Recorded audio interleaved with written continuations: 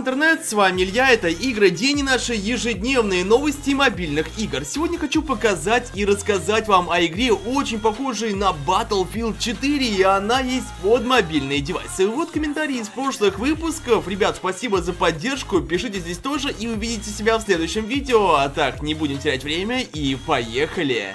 Ну и в самом начале у меня рекомендация для всех любителей настолок. Я рекомендую игрушку Gravity Falls. Я обожаю настольные игры и вам тоже советую попробовать. В частности, данный экземпляр. Gravity Falls это волшебная настольная игра по мотивам диснеевского мультфильма с отличной рисовкой и красивым стилем. Эта игра для 1-5 игроков. Вам предстоит путешествовать по Gravity Falls, защищать его от монстров и убеждать горожан помочь вам. С каждым ходом от монстров будет все больше бед и доверие к игрокам падает, и нам нужно не допустить того, чтобы маркер тревоги не достиг предельного значения. Настолка на самом деле большая, клевая, продолжительность от 45 до 60 минут игрового процесса, так что рекомендую попробовать, уверен вам понравится.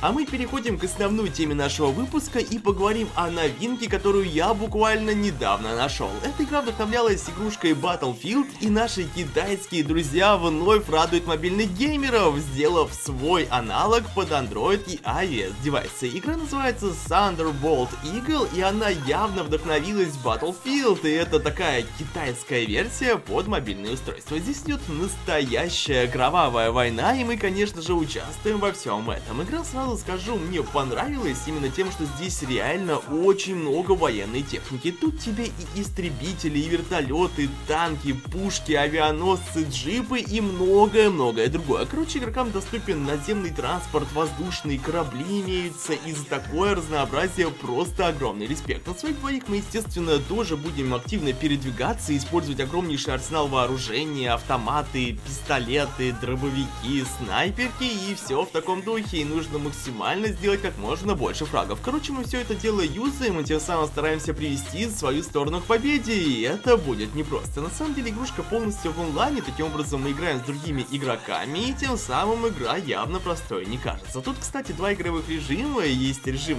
голода, который стимулирует сражение, и на самом деле это весьма интересный подход. Тут нужно игрокам быстрее хватать продовольствие, чтобы поддерживать свою физическую форму, пока ресурсы не будут исчерпаны. Это прикольная идея, тем самым она мотивирует всех сражаться. Второй режим это уже что-то вроде крепости, и тут одни атакуют, ну а другие защищают свою позицию. Игрушка на самом деле выглядит интересно, сейчас она доступна на сайте TapTap, ссылку оставлю в описании, так что можете сами попробовать поиграть в эту демку. Ну и напишите, какая вообще игра, мне тоже интересно узнать именно ваше мнение, так что пишите, пишите и еще раз пишите. Ну и смысл, подписывайтесь на канал, чтобы быть в теме всех мобильных игрушек, нажмите на колокольчик, и тогда вы точно найдете во что поиграть играть на своих смартфонах. Ну а так, у микрофона был, как всегда, Илья, и скоро вновь с вами увидимся, так что до встречи.